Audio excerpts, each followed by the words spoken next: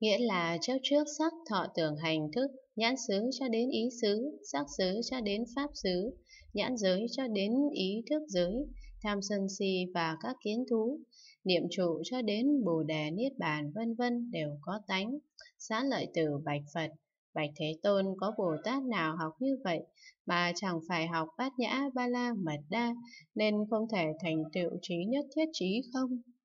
Phật dạy xá lợi tử, có vị Bồ Tát học như vậy nhưng chẳng phải học bát nhã ba la mật đa nên không thể thành tựu trí nhất thiết trí. Xá lợi tử thưa, Bồ Tát nào học như vậy mà chẳng phải học bát nhã ba la mật đa? Phật dạy, này xá lợi tử, nếu các Bồ Tát không có phương tiện thiện xảo,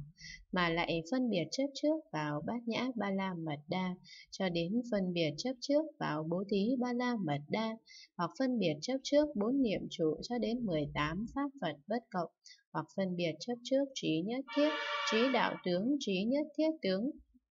Do yếu tố này nên có các đại Bồ Tát tuy học như thế nhưng chẳng phải học bát nhã ba la mật đa nên không thành tựu trí nhất thiết trí. Xá lợi tử hỏi, khi các Bồ Tát này học như vậy, nếu xác định chẳng phải học bát nhã ba la mật đa thì không thể thành tựu trí nhất thiết trí ư. Phật dạy, xá lợi tử khi các Bồ Tát này học như vậy thì chắc chắn không phải là học bát nhã ba la mật đa và không thể thành tựu trí nhất thiết trí. Giá lợi tử hỏi,